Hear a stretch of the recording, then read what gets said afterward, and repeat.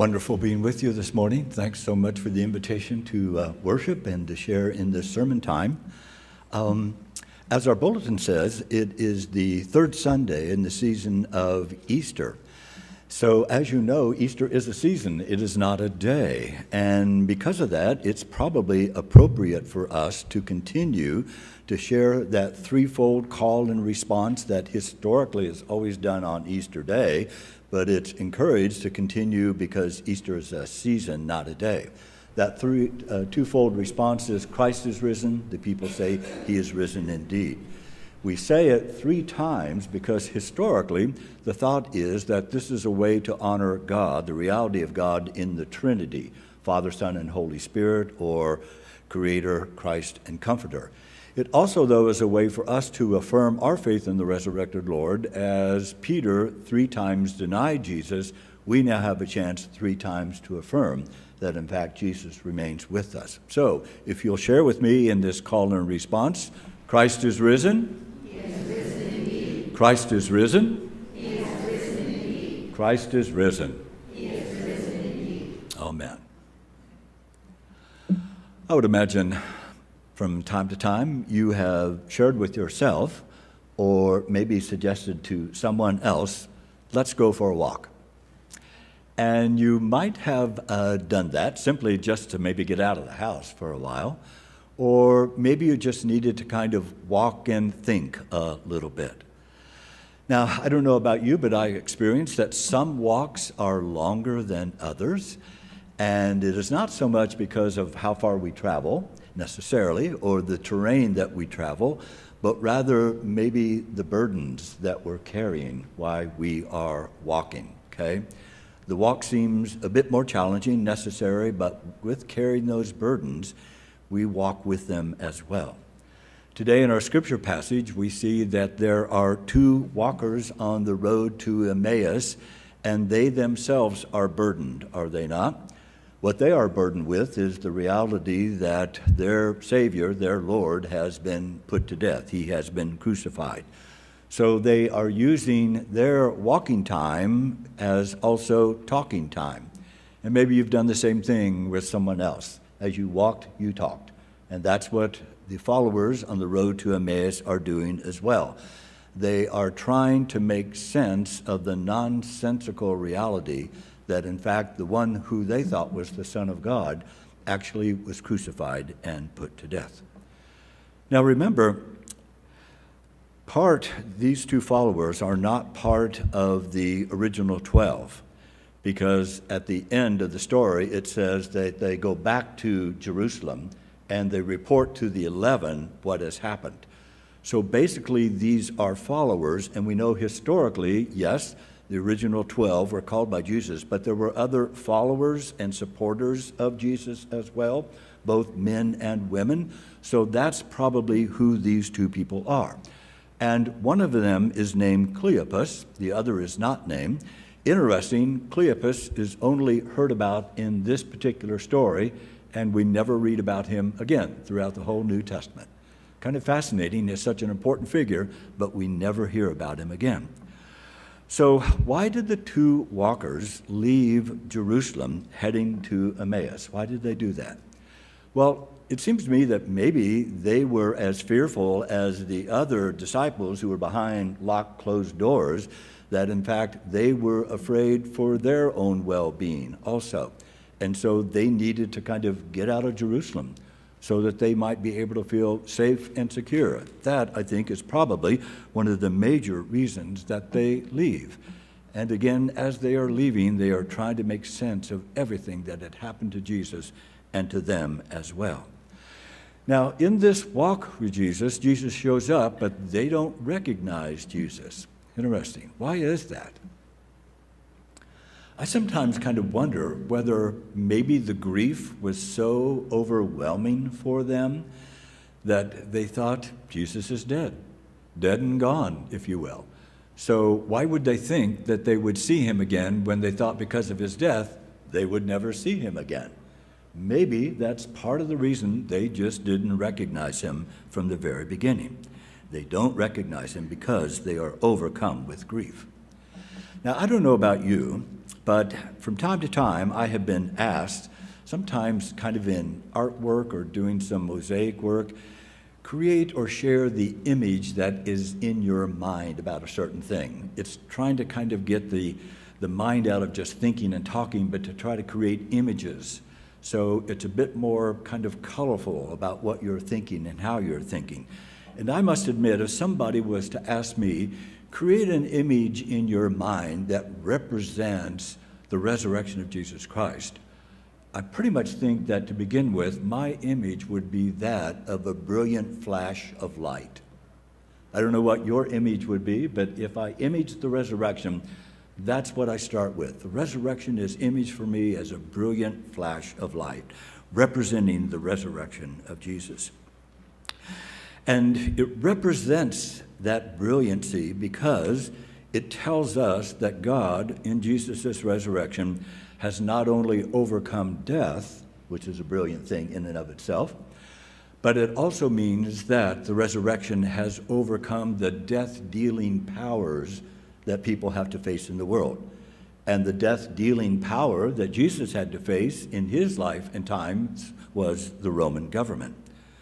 So Luke tells us then that after Jesus gets into this conversation about the reality and the importance of what had happened, he begins to kind of gently probe them and asking them questions. And that's the uniqueness between my image and Luke's image. My image is a brilliant flash of light. Luke's image of the resurrection is Jesus walking and talking on a road to Emmaus, okay? How common and ordinary is that, but how extremely important it is for our life and faith. And in the midst of that walking and talking, he asked the question, What are you guys talking about? Okay? Very natural, normal kind of thing to say, is it not? What are you guys talking about? And so they have this conversation. And they begin to kind of tell Jesus all the things that have happened in their life. And actually, Cleopas responds to that question as if he's saying, are you the only stranger in all of Jerusalem that doesn't know what has happened? It's kind of like he's saying to Jesus, What planet are you living on? Okay? The crucifixion was in all the papers in Jerusalem. Don't you know about these things? And then Jesus begins, I think, to serve kind of as a therapist. And so he pushes the conversation a little bit more and he says, What things are you talking about? I don't know about you, but Jesus at that point, I think, kind of becomes a therapist, if you will. Okay? I don't know if you've ever been in any individual counseling or group counseling. From time to time, I've been a part of groups that are, have a counselor or kind of a coach there. And if they want us to say more, they basically say, Well, tell me more about that. Okay? Just as a way to kind of keep you talking and kind of enhancing and fulfilling what it is that you want and need to say. So, in their sharing then of what are you talking about, tell me more, what they share is their hope, their forlonged hope that they thought Jesus was going to be the one who would come in and redeem and renew all of Israel. Okay? That's what their hope was. So when Jesus says, Tell me more, they share their forlonged hope that in fact who they thought Jesus was going to be and what they thought Jesus was going to do was going to bring the fulfillment and the fruition of everything that God got started in Israel. I don't know about you, from time to time, I kind of feel connected with that forlonged hope. Have you not ever had a moment in your life where you've kind of said, Wow, I just was so hopeful that things were going to turn out differently? Ever had that moment in your life? just was so hopeful that things would really be different or really be better. And so when they are told that, I had such hopes in Jesus that he would be the Redeemer of Israel. What Jesus does is then he begins to review Scripture. He gives them kind of an orientation and an outline of what he was up to. And remember, he starts with Moses and the prophets. They got everything started that God wanted to have happen in Israel. But then I came and I completed all the work that God wanted me to do. So Jesus is trying to tell them, okay, I know you are hopeless in some respects, but let me just remind you about what the story is about me, okay? Moses and prophets got everything started. I came then and I was able to fulfill everything that happened that God wanted as in Israel, but now in me. So, in that conversation, Jesus still remains a stranger to them. Okay? He's still a stranger. They do not recognize who they are. And so they are so taken, though, with what he has shared with them that they begin to ask him, Okay, it's getting dark. Won't you stay with us for dinner? And Jesus does. Now, in the Gospel of Luke, it's important for us to remember that Jesus is eating all the time. It's the one primary activity that Jesus does in the Gospel of Luke. He constantly invites himself to meals on the behalf of others, or others invite him to come and have a meal as well. So Jesus was, I wouldn't say a partier, kind of but he sure enjoyed a meal. And when it was offered to him, he took advantage of it. The interesting thing, though, to remind ourselves is that eating for Jesus was a radical activity of how you break down barriers with other people. So, in the midst of all the activity of all the meals, Jesus was basically saying, when people get together in fellowship and in food, even though they are different, what happens is the walls begin to kind of come down. And so Jesus was constantly eating because he was trying to remove the walls of the rich and the poor, the righteous and the so called unrighteous, between men and women, between Jews and Samaritans. That's what Jesus was trying to do as a radical act of removing walls. So when Jesus decides to have a meal with these two followers, okay, not disciples, but followers, basically he is saying that I'm not here to kind of share with you to respond to your cowardness and maybe your, even your own stupidity. I am here to try to remove the barrier of your disbelief. That's why Jesus is having a meal with them. Does that make sense? So there's a, a wall of disbelief between the two followers and Jesus. If Jesus says, I'll have a meal with them, he's just following the radical activity that he did throughout his entire life of using a meal and the fellowship to lower the barrier that people had with one another. And for Jesus, having this meal with these two followers was his way of trying to lower the barrier of disbelief that existed between them.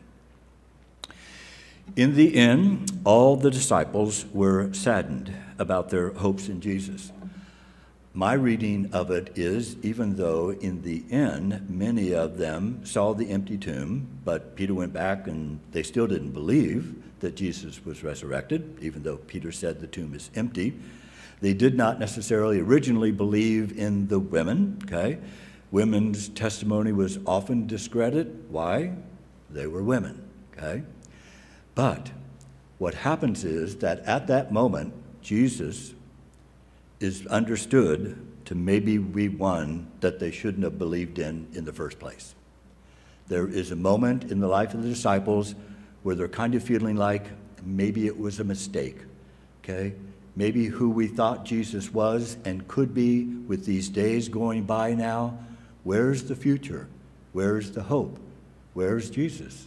There is no Jesus maybe this was all wrong to begin with. Don't we sometimes say to ourselves, time for a reality check, okay? Time for me to just say, am I really dealing with the real world? Am I really dealing with things as they are rather than as I want them to be? Does that make sense? Okay? So I think that that's what the disciples are dealing with. Time for a reality check. We thought substantial change was going to happen in us and the world. We're seeing nothing. Maybe again, this was all wrong. But then Jesus catches up with the followers and he catches up with us as well. And sometimes in our walk with the Lord, we begin to kind of hear something or respond to something or we read something, or someone says something, that maybe our hope is just lifted a bit more. That there's a sense that, yes, there is meaning to life. That in fact, Christ always walks with us, even though sometimes we are not sure about that. And the wonderful thing about the Emmaus story is that it takes a while. You know, they're walking seven miles from Jerusalem to Emmaus. That's a bit of a long walk. It takes the whole day. And I think it just reminds us that sometimes Jesus' walk with us takes time. And we have to be patient, does it not? Okay? So it's one of the important things that when Jesus walks with us and talks with us as the hymn goes, what happens is that we begin to decide that we're not going to give up on life, that life is more meaningful than we ever thought, that somehow something has been shared with us, that our hope is resurrected, our faith is resurrected, our life is resurrected, and we know that walking in life means we never walk alone. Somehow, some way, Jesus is always by our side, sharing things with us that sometimes we hear, sometimes we don't but we will never, ever walk alone. That's the fundamental faith of what this story is about. Jesus has come back to remind them that they will not walk alone. Over the years, some folks have said that the Emmaus story is really a journey or a story about the journey of every Christian because it has so many characteristics and ingredients of what the Christian faith is about. Things like disappointment, and disbelief and doubt, but it also has elements of risk. And then it also has things in it like profound wonder, profound hope, and a fundamental belief that, yes, God is on our side and is always working on our behalf. The resurrection story is a story about movement. Jesus is walking on the road, the followers are walking on the road. And so this is a movement in which Jesus is once again trying to say, let's try this again, okay? Let's make sure that we do not give up on each other, but in fact, we remind ourselves that I'm walking with you because now you are to be the living witness of the reality of the resurrection in your life. That's why Jesus came back to the disciples, to remind them that they are the reality of the resurrection in the way that we might share hope with others, or love with others, or confidence with others, or belief that we are always walking and never walking alone. Interesting, Jesus does say in this conversation with the two followers, Wow, you guys were foolish and really slow to believe. But the thing I like about Jesus coming back in this resurrection story is that there's no kind of heavenly handedness going on. There's no kind of godlike power play that he's involved in. It seems to me that rather he's encouraging them to once again listen to what he's trying to say. There's no way that there's any anger in this conversation. Did you sense or see any anger in what he was saying? There's no sense of revenge that he has, okay? Yes, he has called them foolish and slow of heart, but he did not say that in fact they were stupid and I'm going to remind you about how stupid and how cowardice you were. No. He has this conversation in which he reminds them that in fact I'm counting on you to mirror the life of me in the life that you still have. And that's what it means for us to be a resurrected people. We too have decided we are going to try to mirror the life of Christ in the life of you and me. The resurrection tells us God is not done with Jesus. The resurrection also tells us God is not done with you. Okay? That's what the resurrection is about. God had more plans for Jesus after his death. God has more plans for you and I in the life that we still have remaining in our life. Above all, the resurrection means that we will not allow us to ever think that God is not with us. It may take time, it may take patience. We may have to have a confidence that we feel sometimes is undermined, but nonetheless, the resurrection says God will not allow you to walk alone.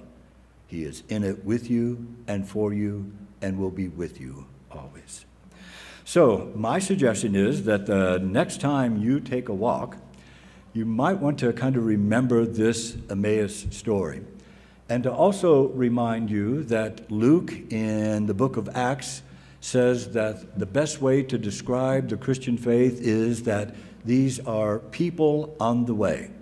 That was the very first way that Christians were described. They are people on the way, on the way of following the life of Christ and trying to do that as best they can. And even in the midst when sometimes we might be a little foolish and a little slow of heart, Christ is there to remind us you do not walk alone. I am with you. Amen.